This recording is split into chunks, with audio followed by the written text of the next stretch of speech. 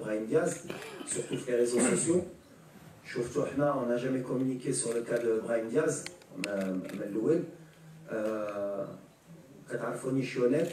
C'est vrai que j'ai voyagé à Milan pour le rencontrer, pour avoir une discussion euh, euh, honnête avec lui, et il a été très honnête. C'est un joueur qui a la double nationalité, qui peut jouer pour l'Espagne ou pour le Maroc. On a une, une discussion sincère, il se doit de faire un choix. Euh,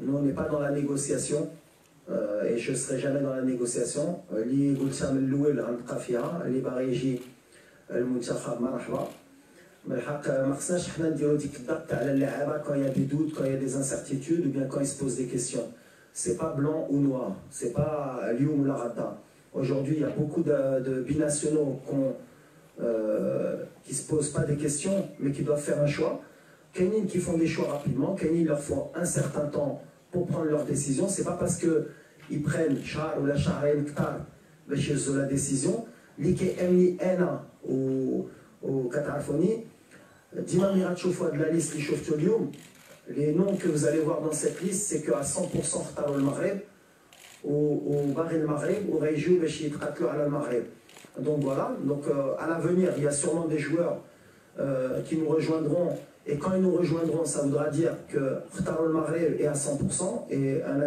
كان اكيد من la décision اللي غيهزوها غيكونوا معنا à 100% واللي ما غاديش يهز لا ديسيزيون ولا غيصبر ما غاديش يكون معنا واللي غيهز لا ديسيزيون يمشي ailleurs سي يا با دو سوسي كيبقى لو شوا ديالو اون فا لاكسبتي وفحال اللي كنقول لهم اي واحد كيبقى مغربي واخا يلعب في موطن اخر الدم ديالو مغربي وكيبقى مغربي وغنشجعو باش يدير لا كارير ديالو بحال حنا Donc le cas de Brahim Diaz aujourd'hui, il n'est pas avec nous.